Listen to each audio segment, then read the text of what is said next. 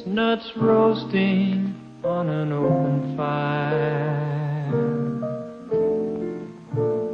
Jack Frost nipping at your nose, Yuletide carols being sung by a choir, and folks dressed up like Eskimos. Everybody knows a turkey and some mistletoe help to make the season bright. Tiny tots with their eyes all aglow will find it hard to sleep tonight. They know that Santa's on his way.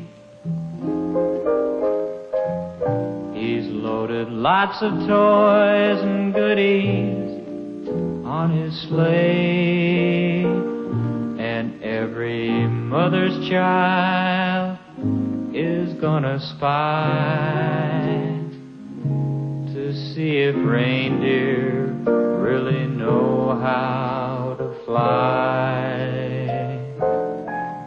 And so I'm offering this simple phrase to kids from 1 to 92. Although it's been said many times, many ways, Merry Christmas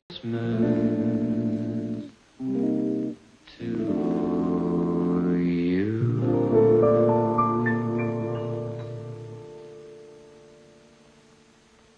Now, on behalf of all us Nelsons, Dave, June, and Danny, Rick, and Chris, and Tracy, and Harriet, and myself, we want to wish you a very Merry Christmas.